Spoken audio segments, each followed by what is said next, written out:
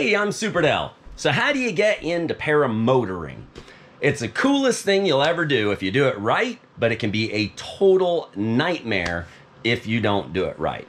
The number one biggest and most critical thing you'll do getting into the sport is to look for who the actual best pilot is. That is life and death critical. Literally, the biggest mistake people make is not looking at all at the skill level of who they're taking advice from. It is just horrifying. Seven more people died, and all because they took advice from people who literally don't have even the most basic skill or understanding of the sport themselves. So if you're going to get into paramotoring, which is one of the safest action sports you can do, if you do it the right way, the number one question you should be asking is who is the best paramotor pilot in the sport and who's the best paramotor instructor. Obviously, if somebody is the best paramotor pilot in the world who can do what nobody else on earth can do, and in all of history has never died, let alone actually even been injured, well, obviously, they both know more about skill than anyone in the world and safety. You don't get to be the best paramotor pilot in the world doing things nobody else on earth can do without a single injury unless you understand safety and what is absolutely critical to safety. So, how do you know who the best is? It's very simple. You take it one piece at a time, you watch the videos, and then you look and see for anyone else if they can do the same thing. It's actually really good if somebody calls themselves the best because it makes it very simple to prove either they really are or they're full of crap and don't know crap. Um, there's people that call themselves, oh, I'm the best, blah, blah, blah. Well, if you're actually the best, you should be able to prove it. Also, it does take character to be able to just tell the truth. Because if you think about it logically and morally, if you truly are the best, you now have a moral obligation to warn other people of issues that their life directly depends on. It's actually a commandment for anyone who's Christian, you know, warn thy neighbor of pitfalls that lay before them. So if you can determine who the best pilot is, you can also determine a lot about their morality level by whether they're speaking up and telling people and sharing uh, what definitely people's lives depend on. So let's take a look at some videos of what the best skills in the world actually look like. And then you can easily compare those with anyone else in the world. Makes it simple. Okay, so right here we're seeing a downwind landing turned into a into the wind landing 14 square meter. Wingtip drag to a wing, no problem. There's few people who could do it, but taking it from the wing right to a wingtip to the ground, uh, only one person in the world's ever done that. Okay, now we're watching another world record I set. Uh, this is the world's longest figure eight foot drag. The current record is 12 figure eights in a row without that foot coming off the ground. It is incredibly difficult because you have to maintain perfect altitude, give or take merely an inch or so, while flying in a figure eight, obviously. Takes absolutely incredible skill level. Uh, not something you're going to see done by newbies. Very, very cool. I mean, it's just skill. Okay, landing on a pole very, very high level of skill. Doing it in a 30, 35 mile an hour rainstorm gust front on a 13 square meter glider over and over and over perfectly. There's only one pilot on Earth who can actually do that. A whole different level. So again, it's the precision. There's people who can stand on a pole, but not many can hit it perfectly first try and stay there absolutely perfectly with that perfect balance. Um, here is a technique that's really kind of interesting.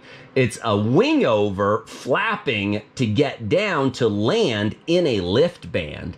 Not something I've ever seen anyone else actually do. Um, not the highest level of skill. You know, there might be some other that could do it, but to land perfectly like that, uh, pretty incredible. It's things like that you want to look for where they're not just a paramotor pilot, but also a paraglider pilot.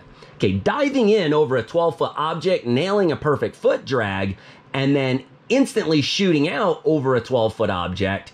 This is skill level 10. Again, Not something you're going to see really anyone else in the world nail that perfectly. Okay, doing a perfect foot drag around a tight corner where you can't miss. Again, one person in the world. Okay, this is probably the coolest thing you'll ever see in the sport. This is a wingtip drag into a swimming pool in between buildings and trees. You can notice the wingtip actually has to go below in order to hit the water. So I'm above my wing and had to clear the chairs. Uh, this is just, this is again one of those things you just won't see anyone but me do. Not to mention there's a wire right there that I had to clear on the climb out. Um, here's a wingtip drag, the only one ever done in the world you'll see done with no hands. You can see the hands are locked up near the brakes for safety, but the whole wingtip drag is done completely no hands. Again, world record, never before done. Okay, here's another one nobody on earth but me has ever done. Uh, motoring up and down a pole. it just again, this it takes such an incredibly high level of skill. It kind of, it, I, you know, compare it. Who else in the world can do it and actually motor up and have the capability of the gear to be able to do that? Because you also have to have the best gear in the world in order to make that possible. Okay, this is a world record setting, uh, flying the world's smallest glider. This is an eight square meter, one of a kind custom wing. I'm actually passing vehicles on the beach. Uh, if you look at the hands closely, if you pulled about four or five inches of brake with this glider, you could literally stall it out of the sky. And here I'm doing infinity loops with this glider. Um, you have to be extremely precise. So it's one of those things you see, but you don't really realize the skill level. Now, watch this landing. Watch the brakes as I'm coming in. I literally only pull about two to three inches because otherwise the glider would have dropped instantly into a stall. So high level of skill. Uh, this is an uh, figure eight wingtip drag. I've heard people say, oh, he can only wingtip drag to the right. Uh, no, false. Not only can I wingtip drag to the right and to the left, but I can do it back and forth, back and forth without missing. There's people who can touch a wingtip after 50 tries and then show you a YouTube video of the one where they barely live through it. But there's only one pilot in the world who's actually doing figure eight wingtip drags. Currently, the world record is eight in a row without missing a tip touch. Okay, there's some pilots that can kite up a pole, but there's only one pilot in the world who can turn forwards, then back to reverse, then forwards, then back to the reverse, then forwards, then back to reverse, all without falling off the pole. This takes absolute perfection within literally the tolerances are so tight. The slightest error and you're yanked off that pole. So all time world record, huge. Wingtip drag to landing on a paramotor. This again is one of those things nobody else in the world, you're just not going to see someone else do. Um, incredibly high. Uh, this is kind of fun, but really doesn't take that much skill. Land on a boat. There's a few people you'll see that have done it. Um, it's really fun. You're screwing around. The boat's matching your speed. Uh, this really doesn't take that high. Obviously, it takes some skill to be able to match its speed and hold direction. But the real key here is the length of time. And then, of course, coming up is the foot touch where I'm doing it with one foot. There's, you know, a little difference in skill. Okay, landing on your butt, perfectly under control, that takes some pretty high level of skill. Not the highest, but here, notice no hands. Literally sitting on the butt, no hands. Again, it's an understanding of what glider is actually the best and matching the skill level to having the best gear in the world. Uh, okay, wingtip drag off of a trailer. Again, one of the things you won't see anyone else in the world has ever done. I'm the only person to ever do that. Okay, landing on a car and setting your shoes down.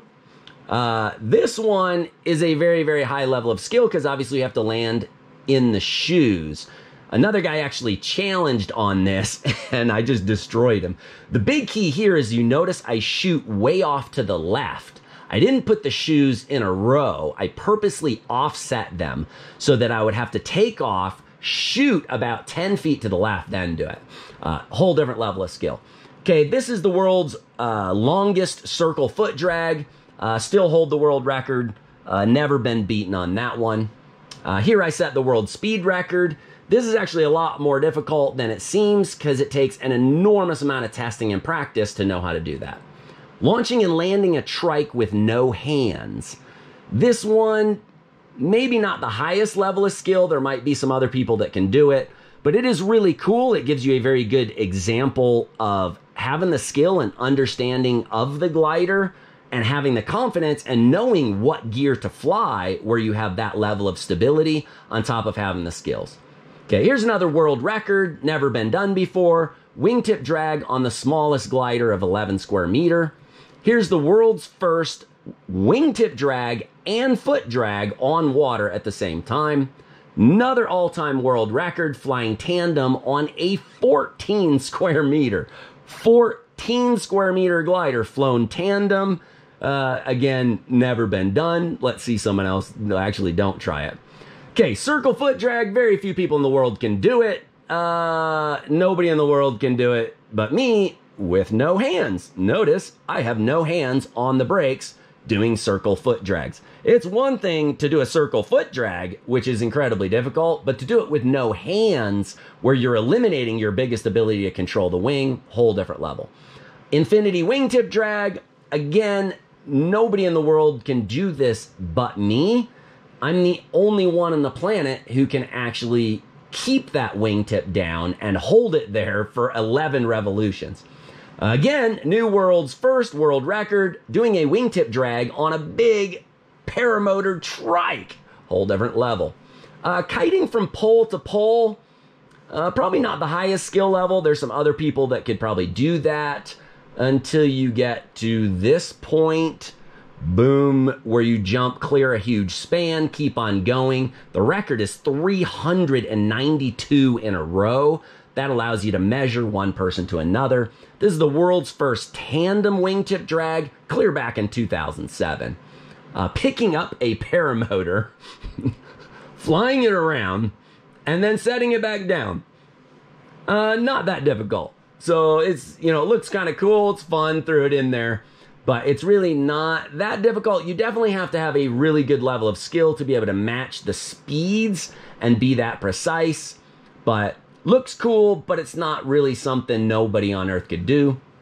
This is a world's first uh, mirrored wingtip drags. For one, you got to be the best in the world to do it. For two, I trained someone else to do it. Huge. Uh, this is the world's longest circle foot drag on water. Again, just to do a circle foot drag is incredibly difficult. One mistake and you're in the water, which is why you just won't see people do this on water. You just have to be so good, there's no chance you're gonna mess up. Whole different level. Now, launching in the smallest possible space, again, this is much, much more difficult than one thinks. You know, a lot of people go, oh, I can launch, blah, blah, blah. But you have to not only be able to do circle foot drags, but circle wingtip drags and have the sheer experience to know how to fly around and circle in between the trees and know you're going to make it because you can't have, you know, any margin of error. If there's any doubt you're going to make that perfectly, you don't do it. So it takes a massive amount of experience as well as coming back in and landing in a spiral and of course perfectly setting down in the rotor of the trees, you know, going downwind, crosswind, whole different level. So, okay. The uh it's it's just a demonstration. The big thing is it's not about ego, or it definitely shouldn't be about saying, look, I'm the best. Oh, yeah, everybody love me. No, this is about your life. Your life literally depends on knowing who truly is the best pilot in the world that has the best skills, the best safety to live that long and never even be injured, and that understanding of how to then pass those skills and that level of safety on to you. So, the number one most life and death critical thing you're going to do in this sport is to first look at the skill level of who you're talking to. Now, I challenge you to go out and try to find people these things where I'm saying I'm the only one in the world who's ever done it or can do it. Prove me wrong. The more you actually research and try and find out if what I'm actually saying is true or false, the more you're going to actually learn how true and accurate it is. If somebody else can easily do these things, bam, you could post a video below, bam, obviously I look pretty stupid if I'm saying, you know, I'm doing things that have never been done before if you can show all sorts of other people doing them. So, critical to your life is understanding who really does know what the heck they're talking about versus people that don't. This is not a Ford versus Chevy where anybody who gets in the air can then show you how to get in the air. You're talking seven more dead in the last, just recently, seven more, and very specifically because of the same foolish, wrong things over and over. They were not trained properly, so they did not have the ability to prevent the collapse and they were put on the absolute worst, most horrible gear. So when that collapse happened, they did a backflip 180, locked into a spiral, face first into the ground, whap dead, whap dead, over and over and over and over. You don't live long enough to be the best pilot in the world if you're a moron that flies the absolute worst and most deadly gear in history. So, automatically, if you find who the absolute best is, you're going to have a comprehension and you're going to know that they're going to have the ability to teach skills that other people don't even understand, let alone don't even have. You can't even teach what you don't know. So you're going to find the best skills, but you're also going to find the best safety. Because one of the reasons nobody on earth has been able to achieve so many of the things that I can do is because they didn't live. They died because they didn't listen. They didn't listen and learn from experts how to come to this skill level and stay alive. It's a matter of understanding the gear and learning the skills properly and not trying to do things just stupidly and recklessly. That's kind of another funny one is very commonly uh, dishonest people will go, oh, he's reckless, blah, blah, blah. I've never been injured in the entire history of the sport on a flat top paramotor ever. Zero. You know, unless you want to count bruises and a few scraped knees, I don't count those. I've literally never actually had a real injury. So to claim the best and safest pilot in the world is reckless is again seriously foolish. But again, it's about looking for truth in between the lines of what people say. Because if they're talking crap about things that have no bearing on the sport, what does that have to do with anything? All they're doing is demonstrating their ignorance. And if somebody doesn't admit that, hey, yeah, I don't know anybody else on earth that can do that, they're just flat out dishonest. I mean, either going to say, hey, I can't do that and I don't know anybody who can, or they're going to show you a video and go, nope, here's somebody who can actually beat that. He said he's the best. Here's a video of somebody smoking him and doing it way better. It really should be that simple. But nobody in the sport, I don't really see anybody. You know, the way to really do it is you take this video, you email it to all the instructors you can find or might consider, and you go, hey, is this guy telling the truth? Or can you send me a video and show me someone else who is actually better and understands the gear better and has lived to be able to do what nobody else in the world can do? It's that simple. Either they're going to be able to prove that what I'm saying is wrong and show you a video, or they're going to talk crap and say absolutely anything they can because they know they can't actually send you a video, or they're just not even going to answer. You're going to find probably 90% of those out there will not answer because they're not going to want to compete with me. Very few out there can even do what my students can do. But I'm going to do another video on that and start showing you all the world records that my brand new students have set during their training. That's a whole nother standard. But the very first, the number one thing that your life depends on getting into paramotoring is to look and know who actually is the best pilot